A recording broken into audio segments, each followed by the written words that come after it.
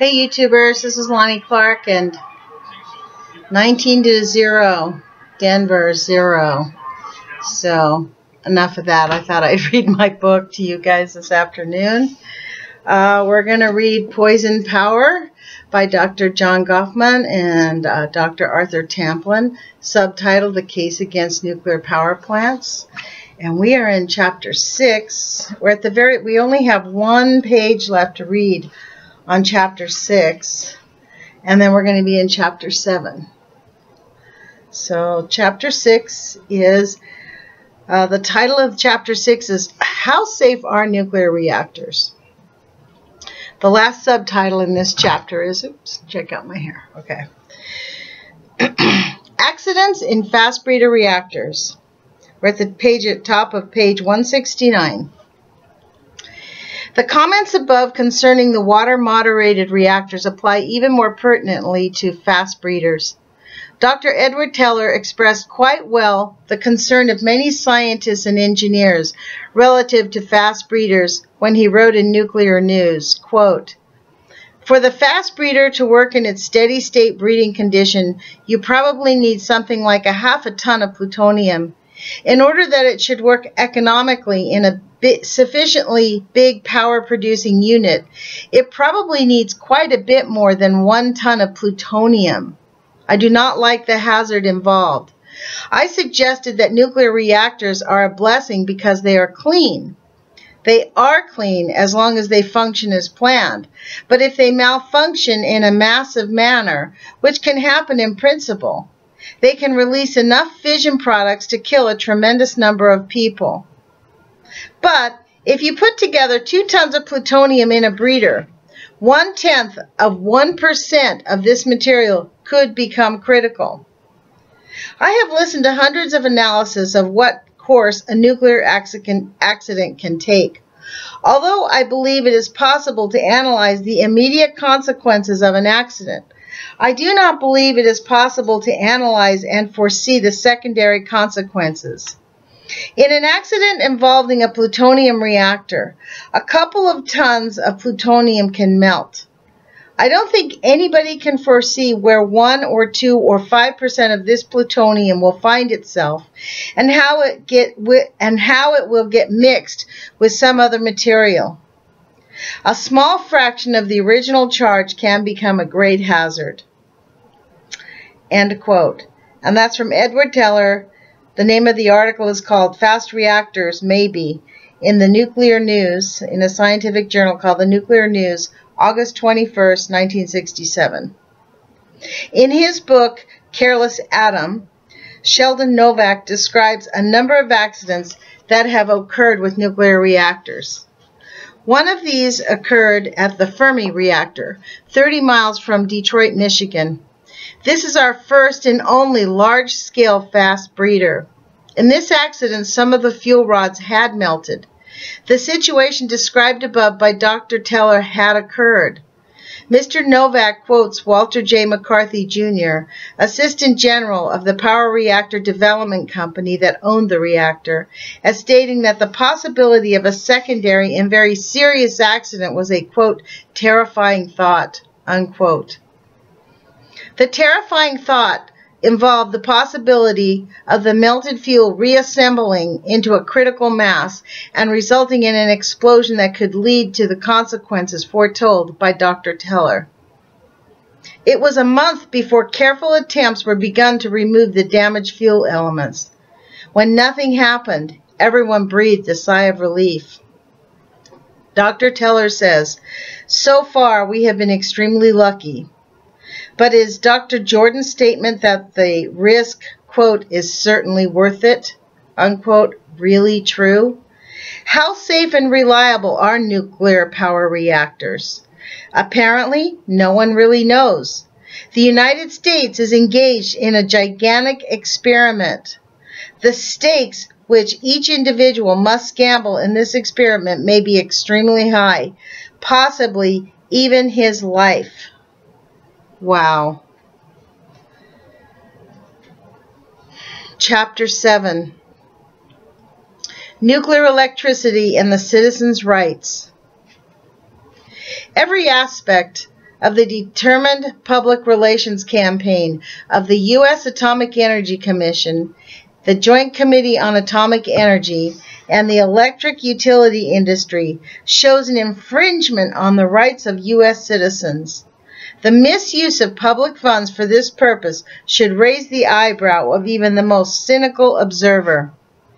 In the Declaration of Independence are the following historic words, quote, We hold these truths to be self-evident, that all men are created equal, that they are endowed by their Creator with certain inalienable rights, that among these are life, liberty, and the pursuit of happiness. Unquote.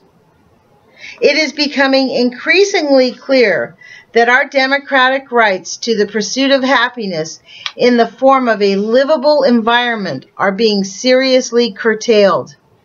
It is no secret that we face an environmental crisis of deep proportions because technological developments have resulted in massive pollution of our air, our land, our streams, our rivers, and our oceans. It is no secret that electrical electric power generation is a major offender. Not only does the generation of electricity pollute in a serious excuse me, let me say that again. Not only does the generation of electricity pollute in a serious and direct way, it also provides the power for a host of additional industries which pollute massively. Platitudes abound from the electric utility industry and the U.S. Atomic Energy Commission concerning electric power, quote, needs, unquote. Facts are curiously lacking. Instead of a painstaking analysis of how increasing electric power delivery was to be used, the dogma was advanced that electric production must increase 10% per year, as it did for several years far, far into the future. Projections of this, at least to the year 2000, are commonplace. This dogmatic projection in the, abs in the total absence of any rational examination represents a national disgrace. We're living through that right now, folks. Cliches of such power means progress, or we need more cheap electric power, or growth is the cornerstone of civilization, are quite shop-worn and over, overtly dangerous for the continued existence of life on Earth. But no forum has been opened to consider the issue of optimum electric power production. The electric utility industry and the Atomic Energy Commission have been conducting a joint public relations campaign to sell the 10% annual growth in electric power production as a magical requirement of existence. And they pay for the campaign with public funds. This misuse of taxpayer funds by AEC is a scandal. The AEC admits doubling its public relations staff from 35 to 70 full-time public relations people to, quote, sell unquote, the atom. Instead, the AEC and the electric utility industry should be sponsoring a serious public forum on the subject of electric power requirements. Indirectly, the electric utility industry is using tax money to brainwash the public through ads in national magazines, TV spots, etc. What funds the utility expend on are regarded as part of their tax-deductible cost. The public pays for these in addition to the regular charges it pays to, to provide a profit for the utilities. So two groups, the U.S. Atomic Energy Commission and its Congressional Joint Committee patrons, and the utility industry, and the electric utility industry, both promote their wares with an apparent disregard for the public's right to understand and participate in a meaningful debate and decision in a meaningful debate and decision concerning electric power requirements. That's a mouthful. Both promote their wares with an apparent disregard for the public's right to understand and participate in a meaningful debate and decision concerning electric power requirements. This represents blatant disenfranchisement of the public, use of public funds for propaganda without any public participation. The inalienable rights to life, liberty, and the pursuit of happiness are even more seriously infringed upon by the development of nuclear electricity with its rash proliferation. Very few citizens are aware of two major ways this comes about. For many Americans, the purchase of a home is an important step in their first in their pursuit of happiness. And because of the risk to that happiness inherent in a loss of their home, Americans are accustomed to buying home insurance to protect that crucial investment of life savings. Little known to most Americans is the presence of a, quote, nuclear exclusion clause in their homeowner's insurance policy. A typical set of nuclear exclusion clauses from a homeowner's policy issued by the Hartford Insurance Group, one of the largest and most reliable insurance companies, is as follows. Number two, Nuclear Clause, Section 1. The word fire in this policy and endorsements attached here to is not intended and does not embrace nuclear reaction or nuclear radiation or radioactive contamination, all whether controlled or uncontrolled, and loss by nuclear reaction or nuclear radiation or nuclear contamination is not intended to be and is not insured against by this policy and or said endorsements, whether such loss be direct or indirect, proximate or remote, be in whole or in part caused by, contributed to, or aggravated by fire or any other perils insured against by this policy or said endorsements. However, subject to the foregoing and all provisions of this policy, direct loss of fire resulting from nuclear radiation or nuclear radiation or radioactive contamination is insured against by this policy. Subject to the foregoing and all provisions of this policy, direct loss by, quote, fire resulting from nuclear. Okay, what does that mean? Fuck. That's an insurance policy for you. Nuclear exclusion. That's the nuclear clause. Number one, this policy does not insure against loss, by nuclear reaction and nuclear radiation and radioactive contamination, whether all controlled or uncontrolled, or due to any act or condition incident of any of the foregoing, whether such loss be direct or indirect, proximate or remote, or be in part caused by, contributed to, or aggravated by any of the perils insured against by this policy. A nuclear reaction and or nuclear radiation or radioactive contamination, all whether controlled or uncontrolled, is not, quote, explosion or, quote, smoke. This clause applies to all perils insured against hereunder except the perils of fire and lightning, which are otherwise provided for in the nuclear clause contained above. Many citizens are under the illusion that such exclusions apply to the nuclear war.